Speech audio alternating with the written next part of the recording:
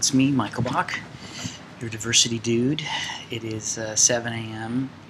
here in London, um, and uh, on the 2nd of uh, September, Sunday, and I am uh, sitting here at London Heathrow Airport. You can probably see a plane in the background here. Um, on my way back to Toronto, my last uh, last installment of my video blog here at the London Paralympics 2012. What to say on your last day? Um, Canada is in uh, 12th position from medal wins, uh, 10th, tied for 10th. If you base it on total count, we have three gold, four silver, and one bronze. Um, and uh, including um, Michelle Stilwell, who I watched win uh, the women's 200 meter last night, which was awesome. Um, and uh, thought I would provide some reflection on my experience here in London. Um, it's hard to reflect on, on four days of, of uh, the Paralympics. First off, I don't want to go home. Um, I'm, uh, I'm dying to see the rest of the events, to see our athletes compete, to meet some of the athletes. I had the opportunity to meet some of the athletes, including the women's goalball team, and um, they're they're just amazing people. They're humble. They're um, dedicated to their sport. They're dedicated to their country. They're thrilled to be recognized and to be here in London. Um, and you know, last night uh, we did, had a final dinner. The Canadian Paralympic Committee hosted us, and and we were kind of reflecting. And you know, people kept using the word movement to describe it. So the the Paralympic movement, and I think that really sums it up very well to say that this is um, this is a movement. Uh, this is an opportunity for um, the the disabled community people living with disabilities to um, not only live full lives, but also to become stars and um, to be recognized for the amazing talents that they have. Um,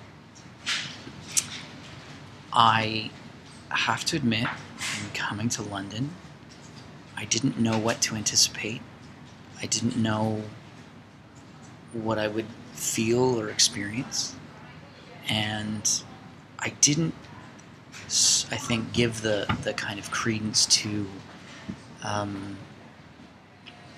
the athletes that I think they deserve. And that's my fault for not fully understanding the power of what I was about to see. And I am you know, as they described last night, I'm an ambassador.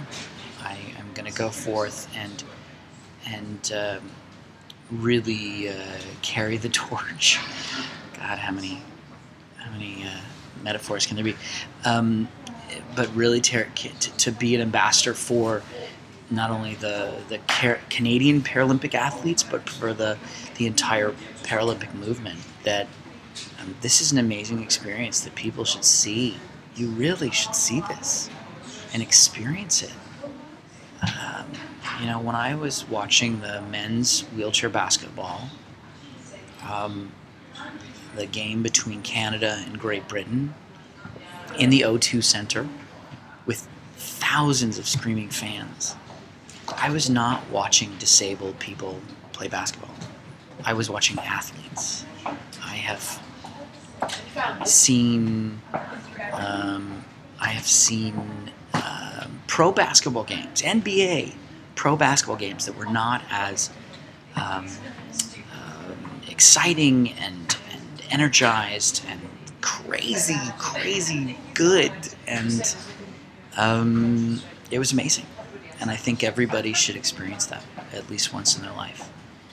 Um, thank you to the Canadian Paralympic Committee who hosted me and made me feel more welcome than um, I think I've ever felt on a junket like this.